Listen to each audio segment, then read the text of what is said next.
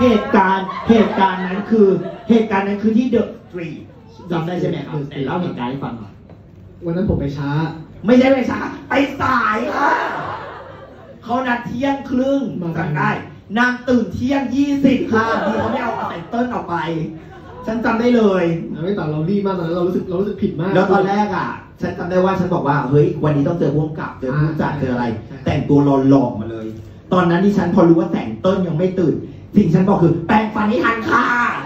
จากลังสิตให้มาถึงเดอะสตรีทให้ใช่ทันที่สุดใช่ แล้วตอนนั้นเป็นไงบ้าง มาด้วยความรีบร้อนเฮ้ยแต่วันนั้นต้นก็มาด้วยความรีบร้อนโดยที่หน้า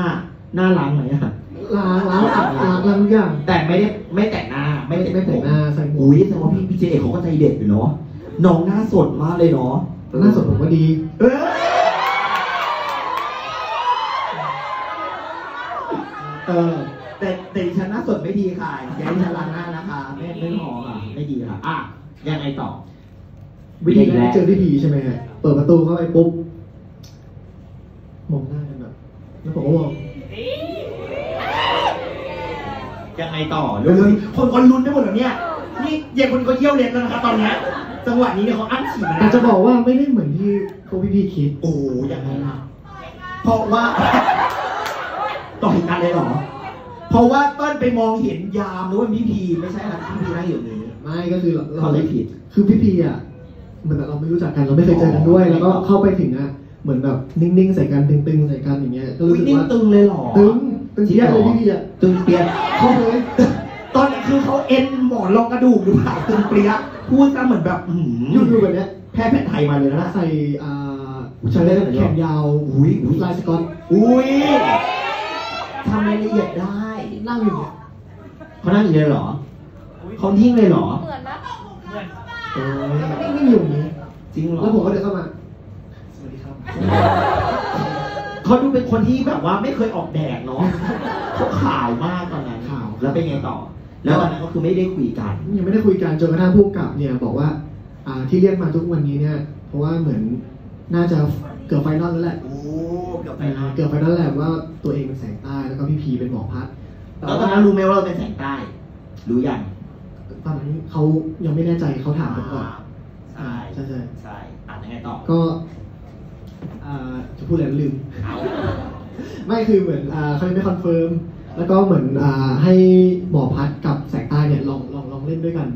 เล่นกลางร้านอาหารได้เหรอกลางร้านอาหารเลยครับ จริงเหรอเนี่ยโอ้โหพวกพี่กอล์ฟเนี่ยให้เล่นเพื่อเพื่อจะดูเคมีซึ่งนั้นก็คือ scene love scene นั่นเองนะครับกลางร้านอาหารไปเลยนะที่แบบตื่นไม่ใช่ไม่ใช่เป็นเป็นอะไรอ่าพี่กอล์ฟให้พี่พีเล่นกีตาร์เพลงอะไรได้ให้เติ้ลฟังโอ้แล้วก็มันเป็นเพลงที่ของเบิร์ดธงชัยจำไม่ได้เป็นเพลงอ่าชื่อเพลงอะไรจำได้ไหมมีสองเพลงของเบิร์ดธงชัยเพลงหนึ่งจำไม่ได้แล้วก็แฟนจ๋าฉันมาแล้วจ้าไม่ใช่แล้วก็อีกเพลงหนึ่งอ่าเป็นเพลงที่พี่พีแต่งเองอุ้ยมีเพลงพีแต่งเองด้วยใช่แล้ว ก็มาร้องให้ฟังแล้วก็เหมือนกับเขาอยากดูปฏิกิริยาทีนั้นเป็นเพลงเบิร์ดตรงใช้เป็นเพลงคาราบาวตกใจอยู่นะบ้างระจันบ้างก็จะร้องไม่ได้ได้ไงต่อก็เลยชอบฮะก็เลยรู้สึกว่าเฮ้ยโอเคขึ้นเดือนคนนี้ ก็เหมือนพวกเราถามว่าไตเติ้ลรู้สึกยังไงอยู่ผมก็บอกว่าก็ก็ก็ดีนะครับเหมือนพี่พีพยายามส่งพลังงานบางอย่างมาให้ผมผมว่าเอ้ยมาคือพี่พีเป็นลิ้นผักเลยเนี่ยเอาส่งพลังงานบางอย่างใช่ให้ผมแต่ว่าตอนนั้นต้องพูดด้วยว่าเหมือน เคมีมันยังไม่เหมือนที่ทุกคนเห็นในกล้องนี่ครับมันต้องไปเวิร์กช็อปเพิ่มเวิร์ใช่กไหมเยอะเลยเวิร์กมากเยอะเลยครับใช่ใช่แต่จริงแต่ต้นเองก็ได้รับโมเมนต์แรกกับพี่พีนี่ที่เขาซื้ออะไรไหมาให้เธอหนังสือหรือเปล่าใช่เออไหนยังไง วันนั้น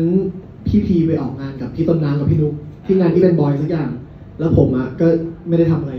แล้วก็เหมือนพี่นุ๊กกลับมาพี่นุ๊กก็บอกว่าอะไตเติ้ลมีคนซื้อมาให้เอเออพี่พีซื้อมาให้ ซื้อหนังสืออะไรซื้อลาปุยมาให้โอ้ซื้อหนังสือลาปุยแล้มาวก็ให้พูดสไตล์พี่พีอะว่านี่เติ้ลนี่พี่ไปเดินหามาเยอะมากนะแบบมันมีหลายร้านมากเนี่ยร้านนี้ก็หมดร้านนี้ก็หมดพี่ไปเจออยู่สองเล่มสุดท้ายพอดีพี่ซื้อมาให้เราเลยนะ ดีนะที่ที่นิยายถูกเล่มครับ โอ้ดีไม่เป็นเรื่องอื่นก็แบได้วนิยายอกธรณีหรืออะไรอย่างเงี้ยมาเฮ้ยเกือบไปแล้วล่ะ